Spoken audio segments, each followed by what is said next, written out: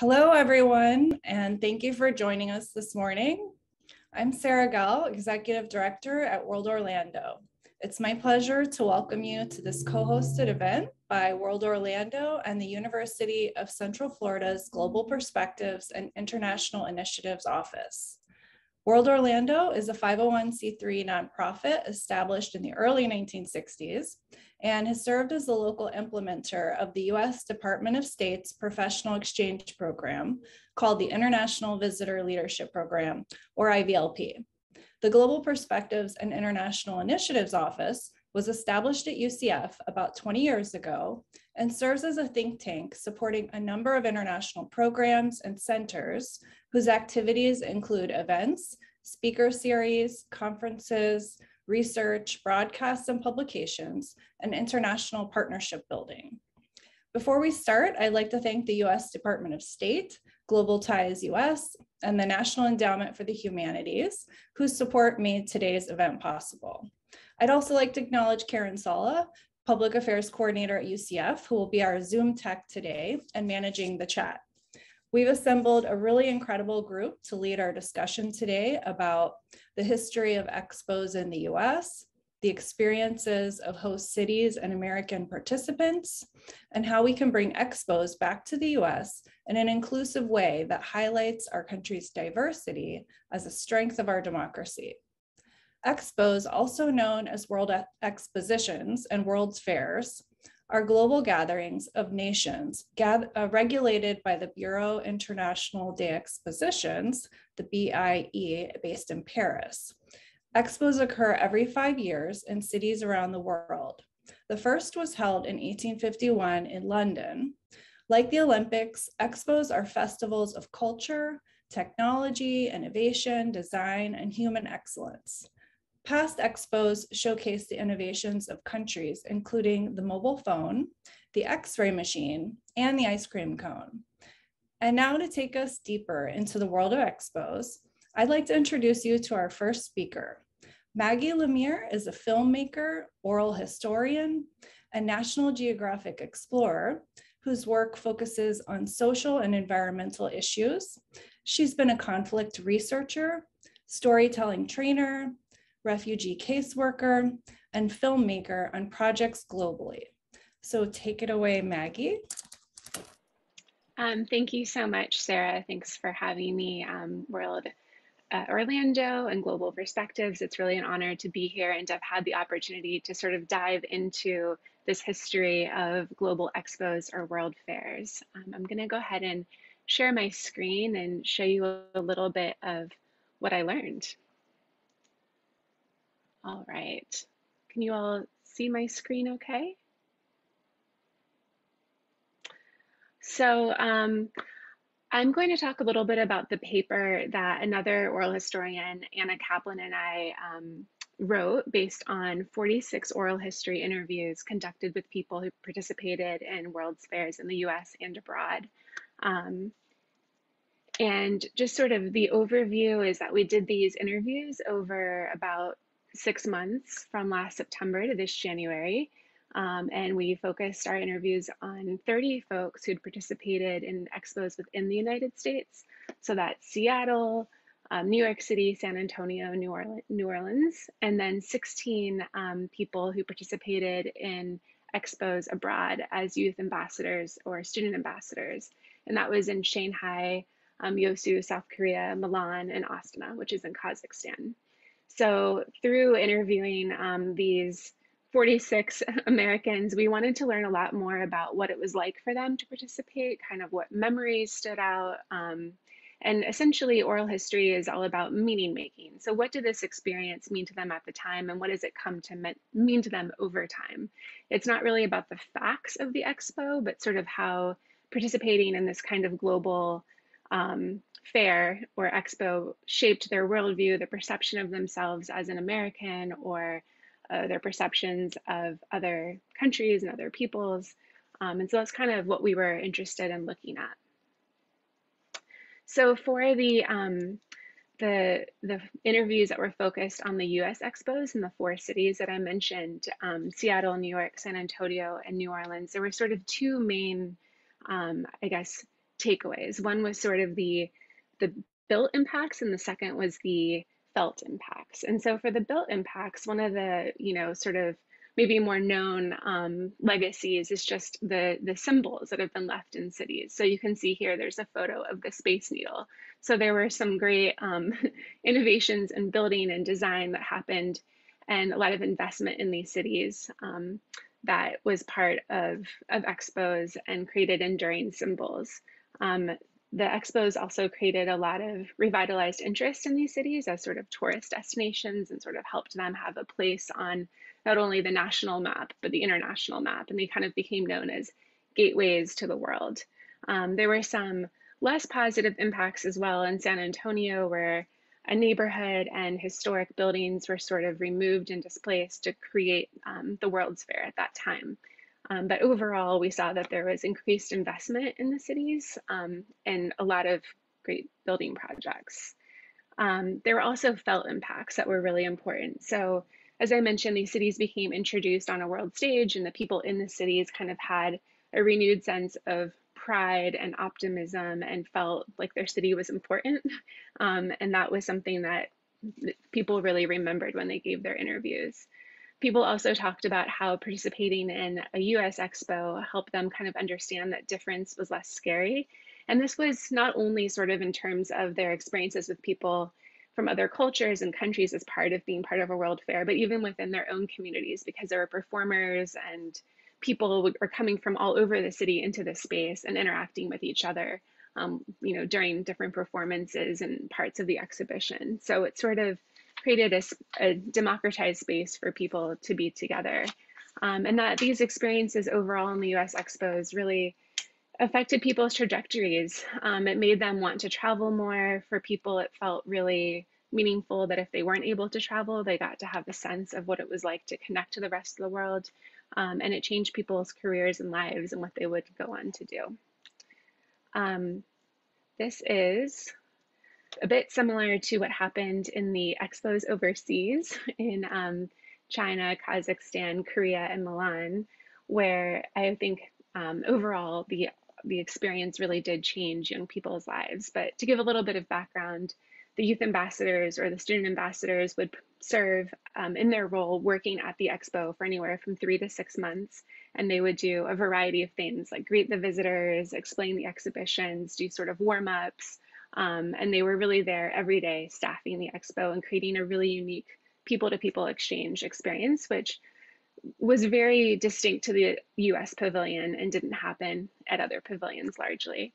Um, and this really was meaningful for a lot of the young people who participated because they had never um, had the chance, in most cases, to really work abroad. Maybe they had gone on some short trip or they'd studied abroad, but for them, this was really the opportunity to go back and spend several months at least and have a real work experience, not just a study experience. Um, and they were able to kind of explore family roots and connections or cultural interests, you know, it could have been because their family was Italian American and they'd never been to Italy, or because they became obsessed with Korean um, soap operas. There were so many different reasons, but there was a great, deep desire to go and spend more time in this this other country.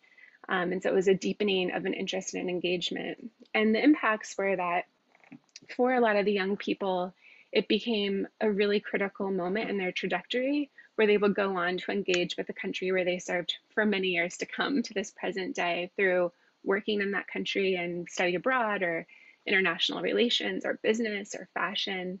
Um, and they felt like they were proud to be part of sort of an ambassadorship of what it was to be an American living abroad and kind of representing a complicated, a more complicated idea of the US where Americans just aren't blonde and blue eyed, but come from so many different cultural backgrounds with so many different perspectives. Um, this also really helped transform young people's ideas of themselves as Americans. Um, and they kind of thought about things in increasingly complicated ways and understood um, international relations and sort of the power of people to people exchange and the difference between governments and peoples and the, the importance of dialogue. And so they all really came to deeply value those things. Um, so it, it was a huge impact on each young person that in almost every case, they went on to continue to be involved in that country to this day.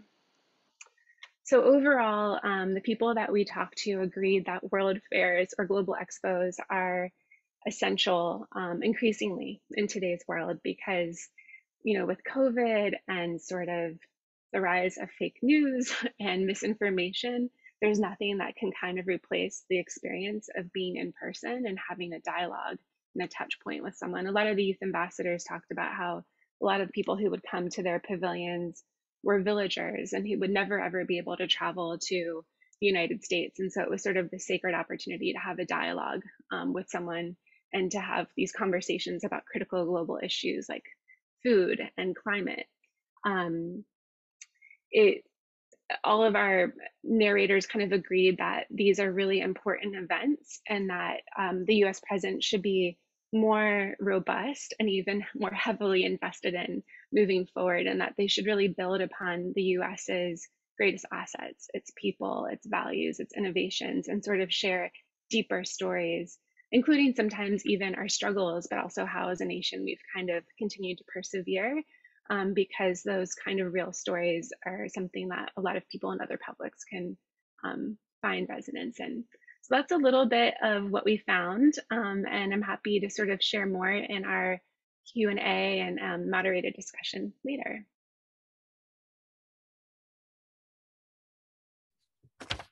Thank you, Maggie. Um, our next speaker is Kara Snesko, and Kara Kara is the senior coordinator in the International Expositions Unit at the US Department of State.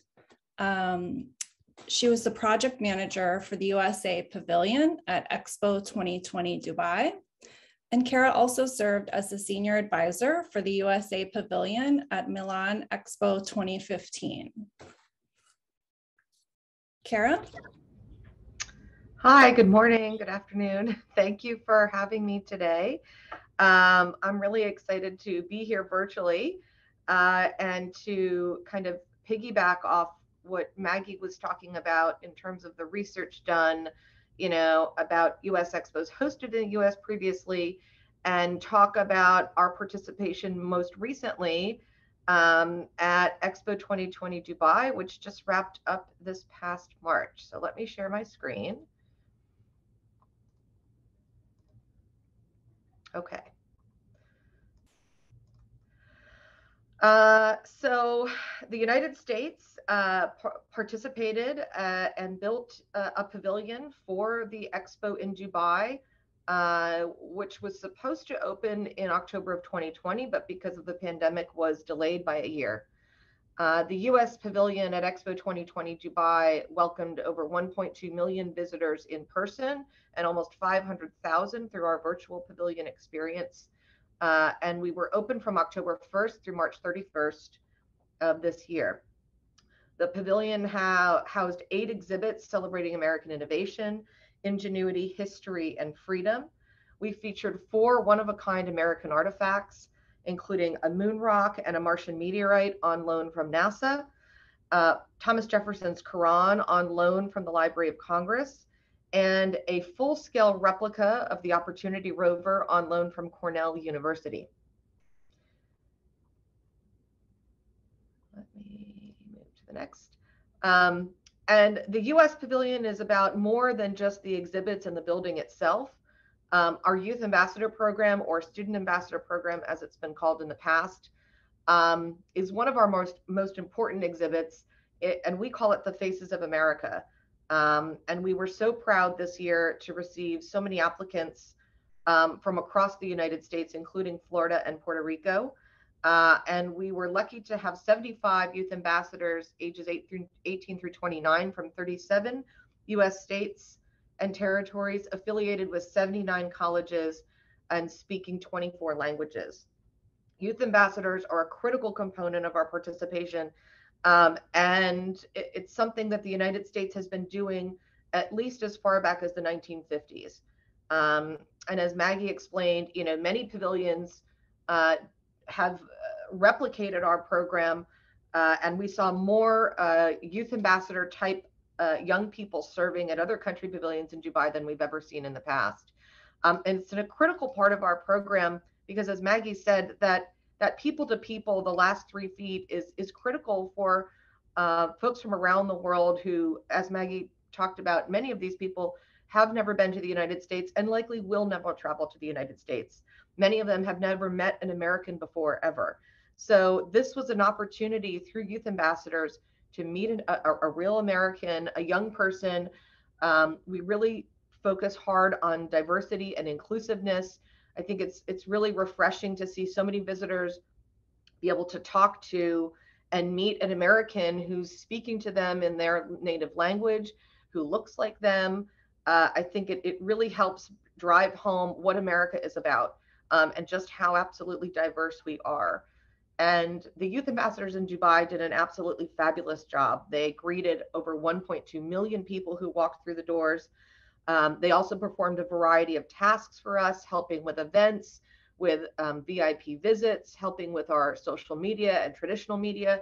Um, they really helped behind the scenes, you know, pull together and, and make this kind of pavilion work.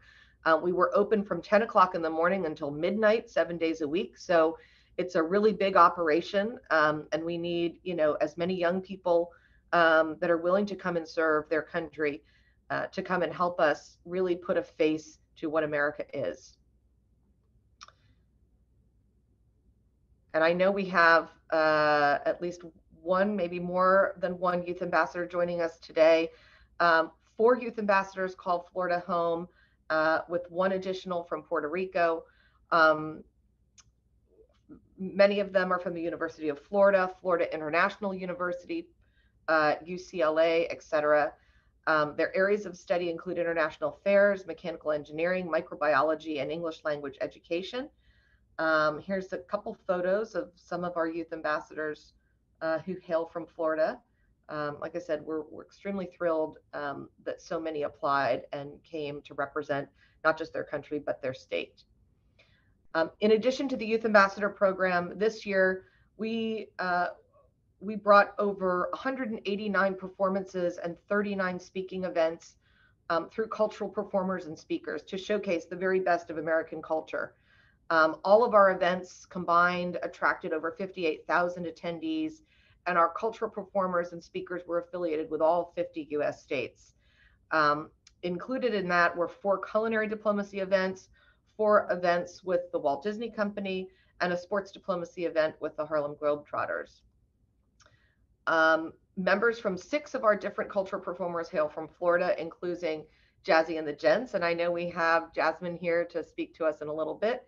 Um, Illuminate, Penn Masala, Two Shields Productions, the Tulane uh, University Marching Band, and the Harlem Globetrotters. Uh, so the state of Florida was well represented um, through cultural performances for sure. In addition, um, we housed a robust business program offering U.S. businesses a platform uh, and, and an opportunity to leverage the pavilion. Over the six months, we held 175 events. Um, seven American companies signed MOUs with UAE partners. Companies launched new brands, new businesses, um, new partnerships, new ventures, um, and explored new markets in the Middle East. Six US states, including Florida, sent trade delegations. Um, I believe Florida sent a delegation focused on agricultural export to the region um, during our Food and Agriculture Week, uh, of which the Secretary of Agriculture, Tom Vilsack, attended. I want to show a quick video now. This is sort of a farewell video that we put together, recapping our six month long participation at Dubai. Um, and then afterwards, I'll talk a little bit about where we're going next. So let me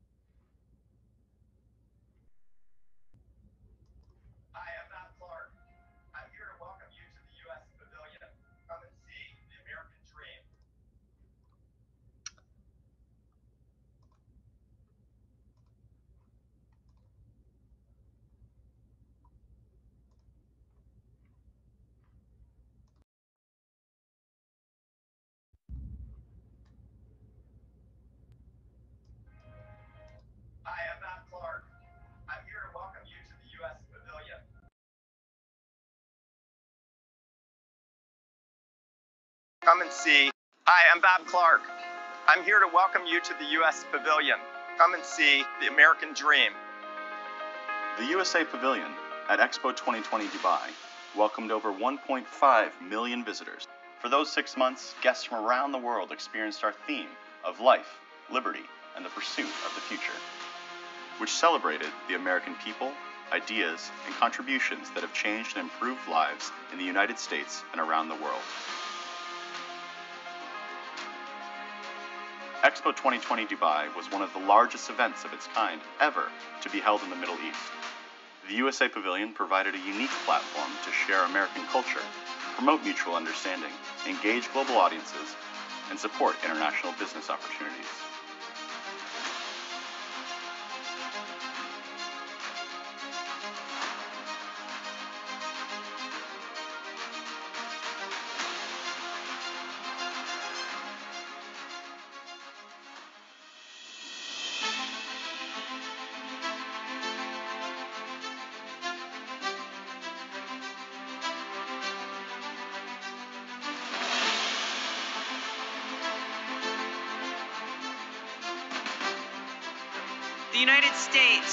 Greatly appreciates the UAE's commitment to a successful, inclusive, safe, and healthy expo for everyone.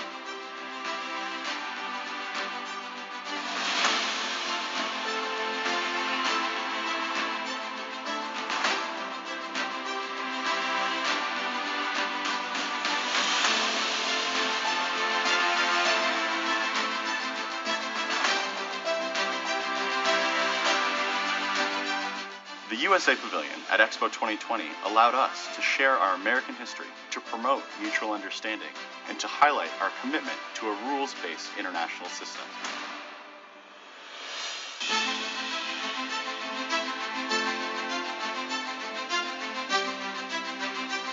Thank you for joining us on our World's Fair journey life, liberty, and the pursuit of the future.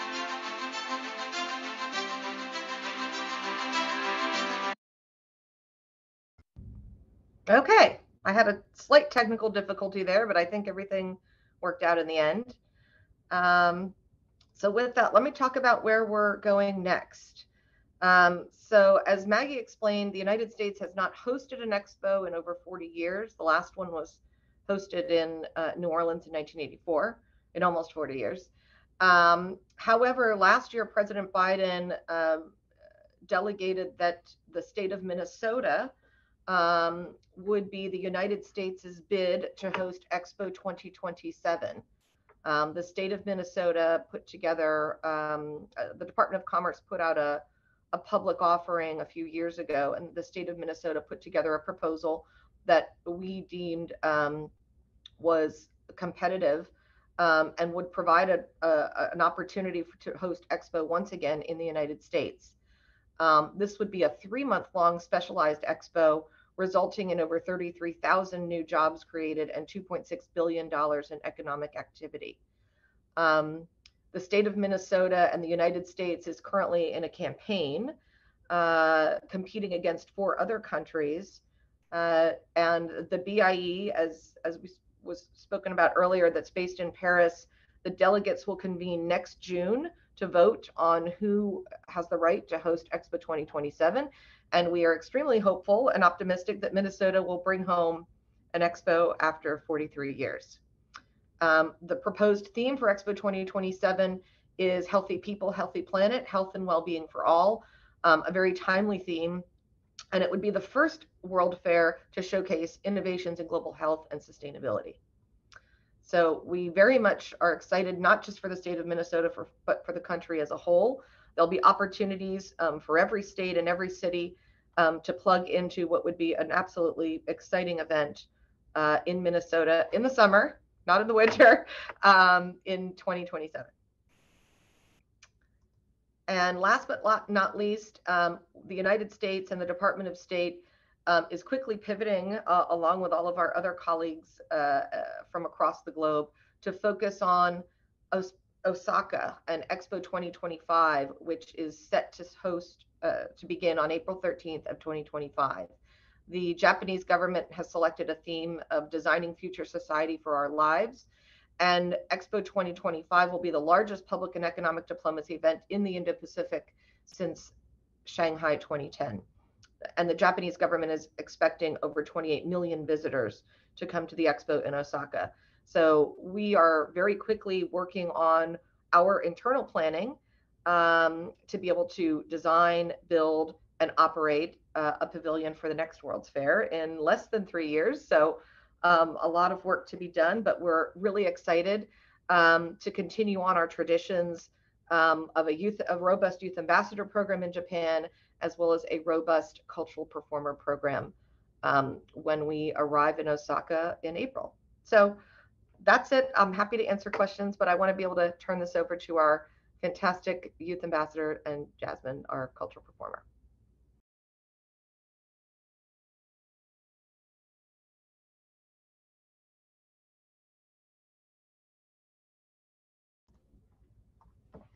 All right, thank you, Kara. Um, our next speaker is Jazmin Ghent, who participated in Expo 2020 as a cultural performer. She's an international smooth jazz and gospel recording artist, as well as an accomplished music educator. Jazmin was awarded the prestigious 2019 NAACP Image Award for Outstanding Jazz Album and is a six-time Billboard chart-topping artist. So thank you, Jazmin. Thank you for having me. Um, I'm so excited to be here and I'm going to share my screen really quick.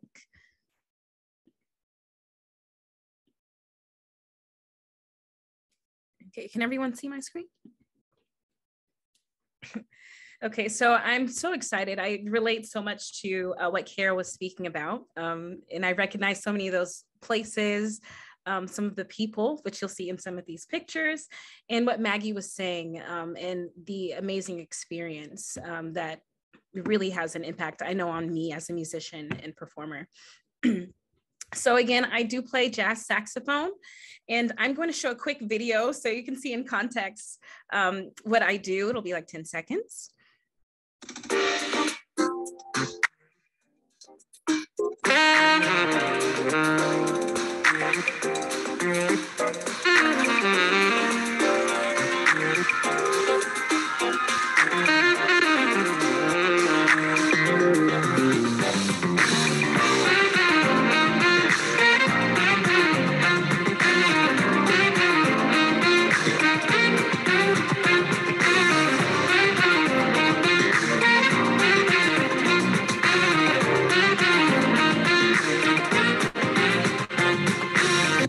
Okay. So um, that was a, a, short example of, of what I do. So it's jazz saxophone, but we mix it with other uh, genres as well. So I wanted to say my top takeaways from the World Expo and what I experienced. So, one of the amazing things was being able to tell the United States story um, in my slice of um, American culture and, and, what I do. Of course, jazz being born here in America and um, also, uh, you know, America's music and being able to see how we present ourselves um, as well. So I did play some songs that were popular pop songs or R&B songs or whether it was gospel or rock, but fusing that with my own music and then that being part of the bigger picture. So I was able to see how um, I played actually under the um, Space Falcon, like under the rocket. So that was an interesting experience. Um, and the great thing was seeing how the United States, how we presented ourselves to the world. So um, being part of that. And as soon as you walk into the US pavilion, I mean, it was a very long line because everyone's interested in seeing that. And you saw Abraham Lincoln, you saw um, like the Statue of Liberty, you saw all, all these different things that we are so proud of um, here in America. So it was amazing to be part of that. And I do want to speak how awesome it was to see other countries.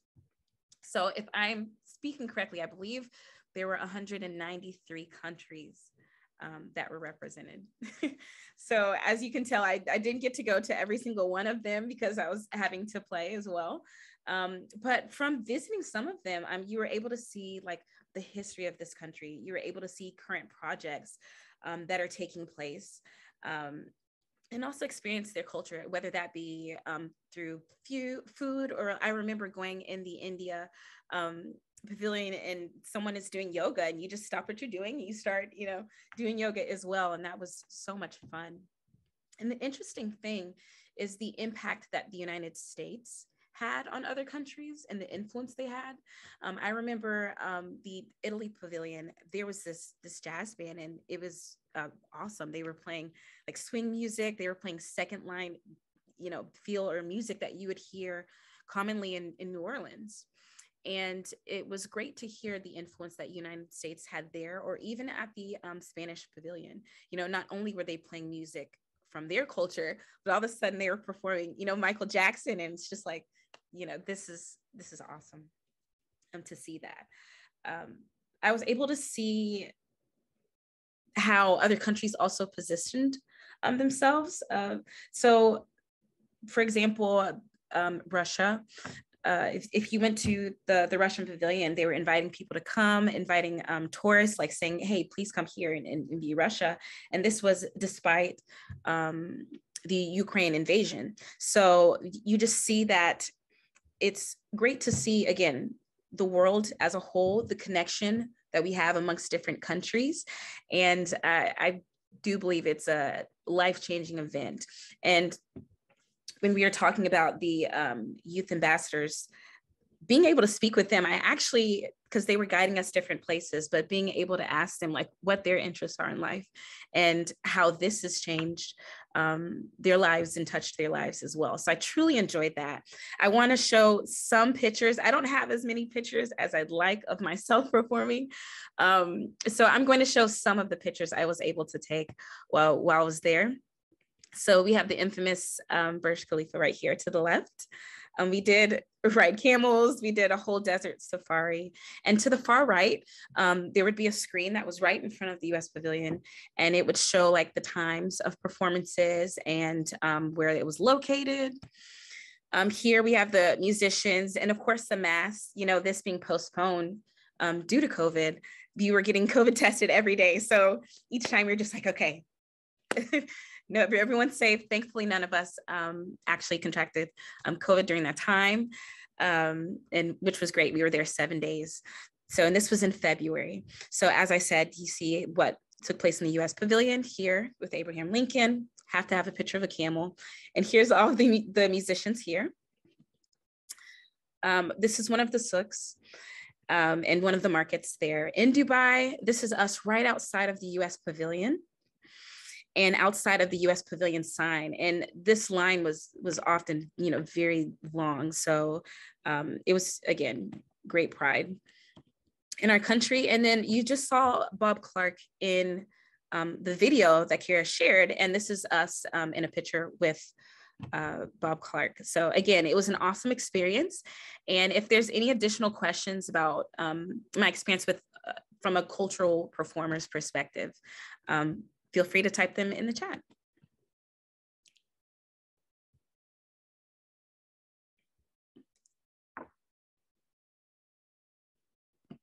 Okay, thank you, Jazmin. that was great. Um, our next speaker is uh, Paige Liebel, and she participated in Expo 2020 as a youth ambassador. She was one of 75 Americans in their 20s from more than 37 states and DC to be selected. Paige is a recent graduate from Purdue University, where she studied electrical engineering and completed competed on the Division One soccer team. So, Paige, um, we're excited to hear from you too. Awesome. Yeah. Thank you, everyone, for sharing your stories. And thank you, Sarah, for the great introduction. As she said, my name is Paige Liebel. I'm from St. Petersburg, Florida. So I'm a Florida native. I was a youth ambassador at Expo 2020 Dubai. There were 75 of us in total, but they split them into three cohorts. So 25 were there just for three months um, in, the, in the fall, and then another 25 in the spring. But I was part of the cohort who was there for the whole time. So I got to see Expo from the very start. Actually, we got in about two, three weeks before Expo opened. So when it was still truly a construction site, there were like cranes overhanging on our way to the way to the pavilion. And uh, and then I got to see it all the way through until the very end um, got to walk the expo grounds after expo closed when it was a ghost town again. So it was very cool to get to see the whole progression. I too have some photos um, to share of my time there. Let's see. Okay, so this was the whole group of us, all 75 of us um, at the DC launch event. So it was the only time all 75 youth ambassadors were together, about four or five days um, before 50 of us set, got sent off to Dubai and the other 25 would meet us um, in January. In this group, um, you're gonna see some Fulbright scholars, um, some Pickering fellows, definitely future foreign service officers.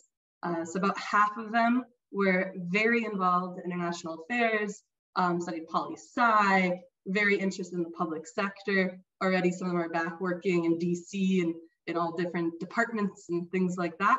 But then there are about half of us who had really no connection to the public sector before becoming a youth ambassador. Um, the half of us who had no connection mostly found this job through an Instagram ad um, I myself included, found found out about the Youth Ambassador Program through Instagram, and I was like, "Oh, what is this? What is the World's Fair? I've never heard of this before." Um, and I applied, and then heard back from Global Ties a few months later. Um, and for some of us, um, myself included, we have a fairly extensive travel history. I'm very comfortable in countries abroad. Uh, but a lot of them, it was their first time actually leaving the country. So some pretty brave young people leaving leaving their homes, leaving America for the first time, headed over to Dubai for an extended period of time. So that was that was pretty cool. Um, so what did us as youth ambassadors do? As you heard, we were the faces of America at the USA Pavilion. Uh, we showed guests to the pavilion. We uh, helped cultural performers around. You know, there'd be cultural performers like Jazmin would come in for three, four, five days, have to perform at stages all around Expo um, and we were their guides to get them to and from their stages. Um, we participated in panels. People spoke on, you know, Indigenous peoples panels, sustainability panels. Um, we had a very diverse group of people with lots of different um, specialties, right? We had a, NASA a NASA scientist, Vivian. Um, she studies at, at Stanford, and so when NASA representatives came through, she was the point of contact as a youth ambassador. She had um, experience with NASA. Uh, other things that we did, like at Expo, as you can see this picture on the left, that's at the city rocket stage, so underneath the, the SpaceX Falcon 9 rocket. There, I'm on the kind of left corner in the mask. I forgot to take off my mask. Um, that was a flash mob that we threw um, on Halloween to, we're all in this together uh, with High School Musical, and that was, that drew quite a, quite a crowd. Um, the picture on the right is an example of us competing in a US naval base sponsored cornhole tournament or bags. I don't know, whatever, wherever you're from in America, you call it a little bit different. Um, we didn't represent the States very well. We actually lost the tournament. I think Thailand ended up winning. So all that tailgating experience in college didn't pay off for us. Um, but it was really fun to bring in maybe like 15, 16 different countries, have them interact with actually US military folk and then us and introduce like a fun little cultural experience for them. Um, we also did things outside of Expo. Like we went to an art festival in Ras Al Khaimah, which is one of the neighboring Emirates. Um, and the people who are hosting the art festival were just so excited to see these Americans, you know, drive pretty far out of their way, get to share their culture with us um, and their beautiful artwork with us. Um, we went to, we accepted tickets, like me and a few other youth ambassadors accepted tickets from the Russian Russian uh, pavilion to go to the World Hockey, like the World Cup. Um, so it was a bunch of young Americans with some Russian diplomats chilling and watching hockey together. Um, things like that kind of was, it was, they were constantly happening. And US youth ambassadors were always taking advantage and representing the states there. Um, this is a picture of closing day of Expo. Uh, this is the pavilion staff. So you can kind of see us interspersed in white shirts and those red bomber jackets. Those are the youth ambassadors, but it wasn't just the youth ambassadors working at the USA Pavilion. We had a large food and beverage staff, commercial, like real, uh, the um, gift shop staff and uh, our bosses, all of those people, most of them were not from the US. Uh, they were from Africa, Southeast Asia, our direct bosses were French, Chilean, South African, Tunisian, um, Indian. So the people who youth ambassadors were actually directly working with even, um, for some of them, it was the first time ever working with an American citizen. And as I believe like Maggie and Jazmin and the other speakers were talking about, being a youth ambassador was, I mean, just like the epitome of that last final three feet of public diplomacy, soft diplomacy, as we called it. Um, there's so many people who walked those doors where we were the first Americans they were ever meeting. Um, it was also wonderful to see my fellow youth ambassadors really break some stereotypes for those people. Um, for example, like Jesus, um, one of the youth ambassadors from Southern California of Mexican descent. I mean, he got it all the time. It was fairly offensive, but people would be like, "You're not American," and he'd get to correct them and tell them that no, I'm I'm in fact American and I'm here representing my country. Um, other beautiful little memories that I have was I remember working in the Rocket Garden and this oh, she must have been a 75 80 year old italian lady came like dancing down the ramp because the music was you know of her style and she she grabbed me and we did like a dance for like five minutes together. So i had to dance with this little italian lady who spoke no english whatsoever um, or the number of times that i was working and it would be right at like the mars rover. Um, so one of the last exhibits someone would see as they're walking to the pavilion and a little kid would be running into the room being like oh my gosh, NASA, space. And they'd be so excited because it was the first time ever getting interacting with uh, like space exploration. And then I'd get to like lean down and ask them, hey, do you want to touch the moon? And they would just light up when they'd get to be like, this rock is really from the moon. Like we get to touch a lunar sample. And so just all those shared experiences were just really wonderful. Um, I had no idea really what World Expo was. I didn't know there was still going on before I started um, as a youth ambassador. But now as I'm, you know, sitting back in America. I actually just came back from a little reunion in New Orleans with some other youth ambassadors. Um, we all look back on it thinking, like, wow, what a wonderful way to start our young careers, start our young professional careers. Because, I mean, it is just so optimistic and so international. Um, you know, and you, you become proud to be an American while you're there. I know that sounds so cliche, but a lot of us young folk patriotism is often tied with uh, nationalism and there's a little bit negative connotation with patriotism but i think all of us discovered that you can be truly patriotic while still being a global citizen um, so yeah i just really want to thank everyone who threw on expo and that's about all i have to share Thank you, Paige. That was fascinating. Um, we're going to start our panel discussion. So I know many of you have questions. And um, so to moderate that discussion, I'm going to turn it over to Shilpa Finnerty. Uh, she's a senior fellow at the Center for the Study of Human Trafficking and Modern Slavery. The center is an initiative of the Global Perspectives and International Initiatives Office at the University of Central Florida. She's Shilpa is also an adjunct professor at Rollins College and a project manager at World Orlando. So I will turn it over to Shilpa now. Thank you. Thank you all so much for your contributions to our discussion today. It was so interesting and I loved seeing all the images and I'm really jealous and I would love to attend in the future. Um, since Paige just finished, I actually wanted to ask a follow-up question for her. Um, we're addressing a UCF audience and I thought you might be able to provide some information on how we might learn more about how to apply, if there are any students in the audience. And um, I know there are professors in the audience who might refer their students to the program. Oh, yeah. So Osaka 2025 is right around the corner. Um, any, anyone who's a student right now could definitely apply for that. Uh, I believe the application cycle is usually like a year, year and a half out um, before the event starts. And yeah, I would just keep an eye out on the US State Department website. Um, I don't know if Global Ties, um, who is the one who ran the event, uh, or ran kind of the youth ambassador interview process uh, for Dubai. I don't know if they're also doing it for Osaka, but yeah, I'm guessing that you can just type in to Google about a year and a half before Osaka, you know, youth ambassador US 2025, and, and you can start the application process. I see Kara is nodding, so I think that's correct. yeah, no, um, uh, uh, that's absolutely right. We um, are in the process of working through our Osaka planning. We will absolutely, without any certainty, I can say we will have a robust student ambassador and youth ambassador program. Um, we are expecting to start with recruitment perhaps about a year, maybe a little bit more than a year out. Um, you know, the program might look a little bit different. Um, you know, Dubai was a very international destination. We had, you know, 24 languages represented. Um, Japan, as, as many of you may know, you know, most people in, in Japan don't speak English. Um, and so the language barrier is something that will be much different for us to overcome. So we will certainly be recruiting uh, young people who have Japanese fluency um, and perhaps you know Mandarin and Cantonese and some other um, Southeast Asian language fluencies.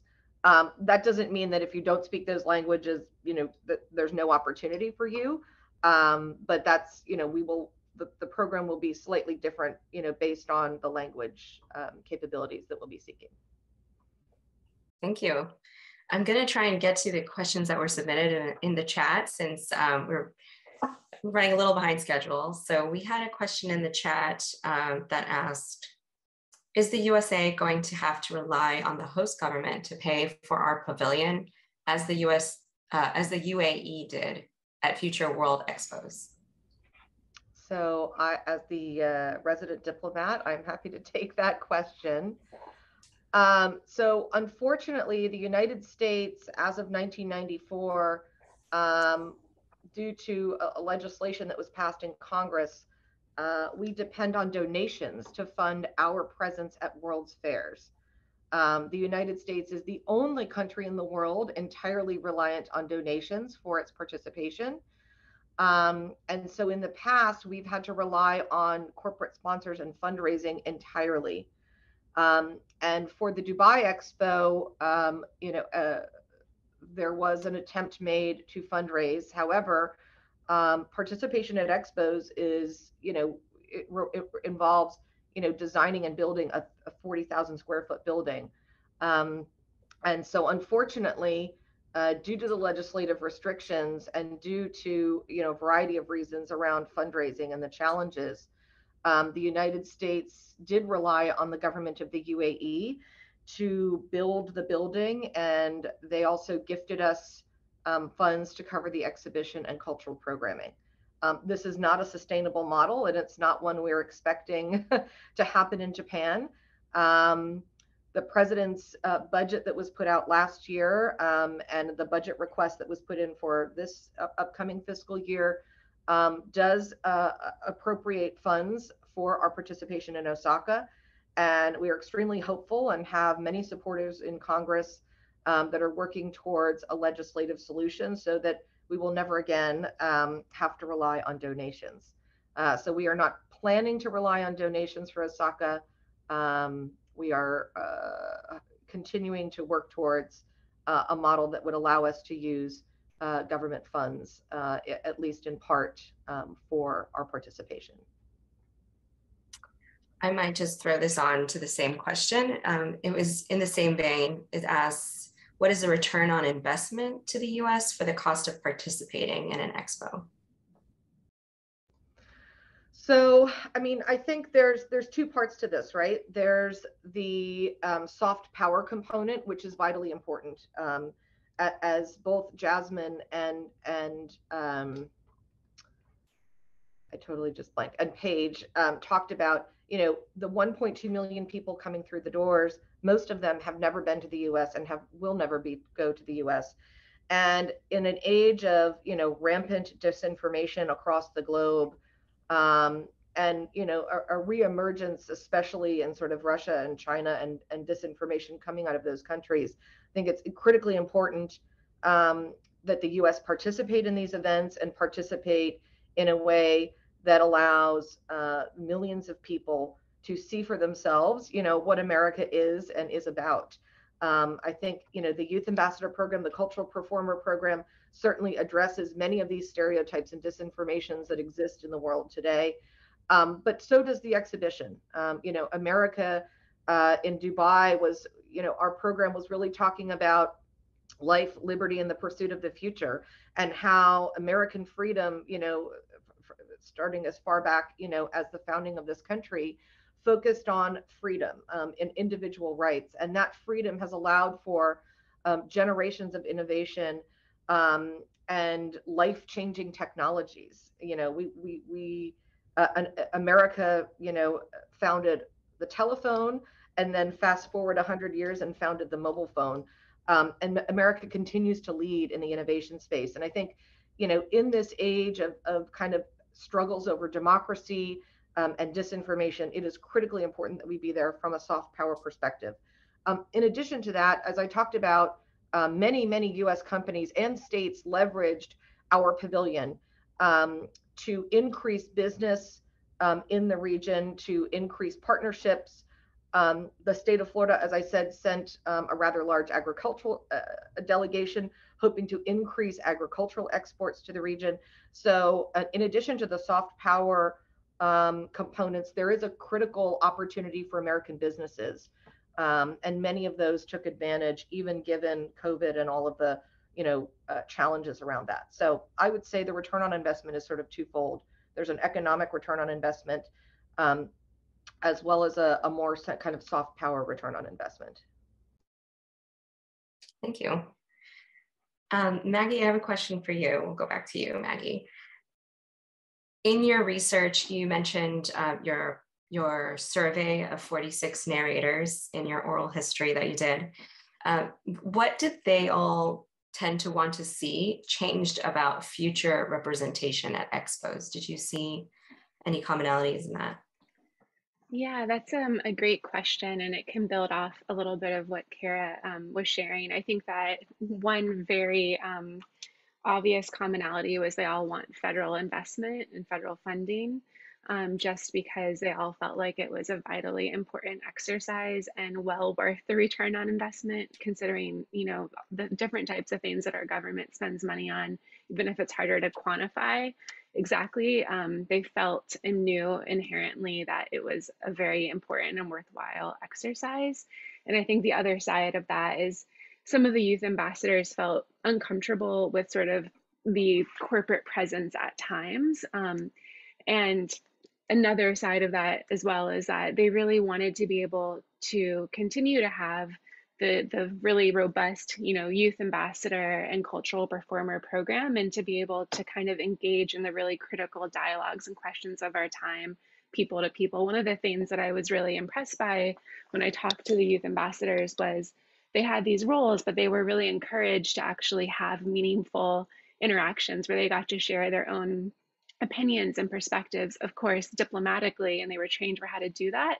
But they want these um, venues, I think both the people who were part of World Fairs in the US and youth ambassadors abroad, to be spaces where people from all around the world come together to talk about our common challenges like climate change, like food security, um, all of the things, and to really explore not only you know innovation around those things, but perspectives on what solutions look like and how different communities are facing that. So I think, you know, the other big thing is just leaning into having those critical conversations and spaces of exchange and into the hard kind of questions and, and things that we're all solving, like misin or challenged by like misinformation. So those were some of the things that I heard people wanted.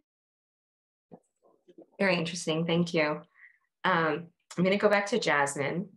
Jazmin, uh, we got an interesting question um, from a participant uh, when they registered asking what is a cultural norm that you observed during the World Expo that the US would benefit from adopting?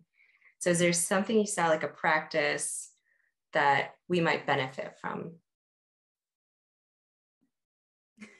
I think we're all aware of, of this benefit, but I think uh, it, I think this is growing more, but learning other languages um, because so many people, um, even from other countries, um, it may be encouraged for, for them to speak English. And I think sometimes that can be challenging um, in uh, the United States, even though we are ever evolving. So I, I think that's uh, um, something that we can grow in even more.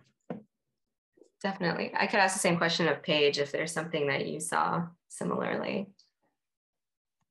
Yeah, I think a, a language barrier, um, you know, if you're able to speak someone's language, because almost everyone who comes to expo or who interacts with an american um, in the business setting most of those people have had the opportunity to learn english and speak it fluently. But the times when you can meet somebody with their own language um, and have a conversation with them and that just breaks down some barriers. Um, and we saw that time and time again how how wonderful it was. Like I speak German. I was the only ambassador who spoke German, and I like you know if there was even an incident um you know we had uh, somebody you know faint had a little medical emergency um and i got to be there and helped you know helped through the process um she's a german speaker helped her through that and the yeah just the the beauty of being able to connect with someone in their own language i think I'm not, I'm not enough americans um, understand that so we're running down on time i see one last question in the chat that just popped up so i will ask it to Paige and Jazmin, do your friends envy your experience or think you were crazy to spend so much time abroad last year? Jazmin, do you want to start? Well, I was there seven days. So um, I, I, think um, in comparison to, to your experience, Paige you were there for how many months? But I, I, I think many people ask a lot of questions because like we've all said, many there are there's some that um, may not get a chance to travel um, internationally. So I'm very thankful um, and blessed for that experience and encourage people to just go and, and visit Expo. You don't necessarily have to be a performer in order to um, gain that experience. Um, and I had a I had a mix of reactions. Um, I'll never forget like last year in graduation, so so spring of 2021 in in Indiana um, one of my really good college friends, her parents actually sat me down and said, like, are you sure you want to go to Dubai? Um, and I just kind of giggled. I mean, I, I, mean, I talked to them nicely. I was like, yes, I think I know what I'm doing. I'll be fine. Um, you know, I had the, that type of reaction. Um, and then I also had the reaction of, you know, I got there and there was these 75 other Americans plus all the other youth ambassadors and all these people from other countries, right? And all these people who came from all over the world. Um, and that culture of just uh, like travel and being comfortable, being uncomfortable. Um, so yeah, there was a mix of people thinking I was crazy and then hung out with, you know, thousands of people who had the exact same mindset as me. So it really kind of showed both ends of the spectrum. Well, thank you all so much for your comments and your time today. Thank you for everyone who joined us as well. This was a really fun conversation. I really enjoyed hearing everyone's stories and hearing more about the research and the planning that goes into these expos. Um, on behalf of World Orlando and UCF Global Perspectives and International Initiatives, I just want to say thank you again. And thank you for being great citizen diplomats, as we say in World Orlando. So everyone, please enjoy the rest of your afternoon and um, goodbye.